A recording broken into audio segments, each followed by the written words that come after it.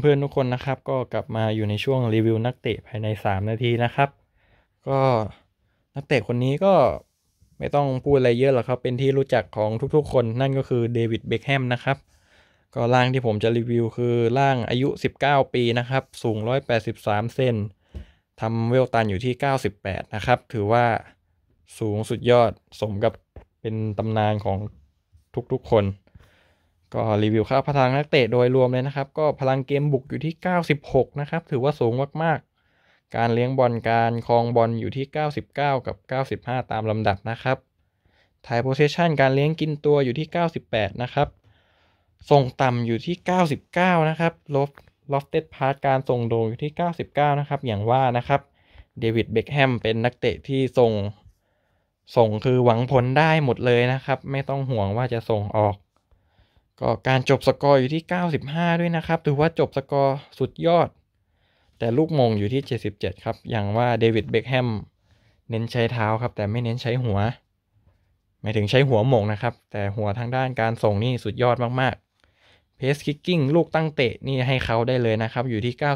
99 ลูกปั่นโค้งอยู่ที่ 99 นะครับ อย่างว่า bend it like Beckham ปั่นโค้งๆสไตล์เบคแฮม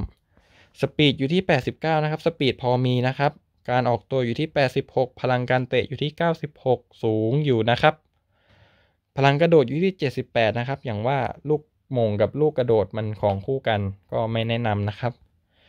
การชนเข้าปะทะอยู่ที่ 89 นะครับ ก็พอมีนะครับ พลังการชนอยู่ที่ 89อ๋อพูดไปแล้ว balance อยู่ที่ 87 นะครับ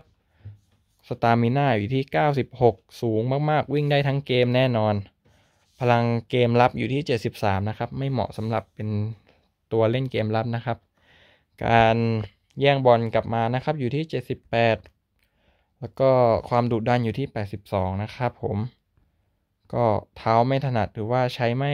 ค่อยดีนะครับอยู่ที่ 1 นะครับ ก็ฟอร์มการเล่นอยู่ที่ 8 นะครับ ก็สูงมากๆ skill มี long range drive เพื่อการยิงไกลนะครับ long range shooting การยิงไกลเหมือนการ skill สนับสนุน First time shot คือยิงจังหวะแรก Through passing คือการส่งทะลุ Weighted pass คือการส่งแบบมีน้ำหนัก Pinpoint crossing คือการเปิดโหม่งแบบแม่นยำ Low lofted pass คือการส่งส่งโด่งๆ แบบมีน้ำหนักนะครับ Penalty specialist คือการยิงจุดโทษ พลัง skill การยิงจุดโทษแบบหวังผลได้ captaincy การเป็นกัปตันแล้วก็ Fighting Spirit พลังนักสู้นะครับ สไตล์การเล่นอยู่ที่ box to box นะครับ ก็ไม่พูดเยอะนะครับเดวิดเบคแฮม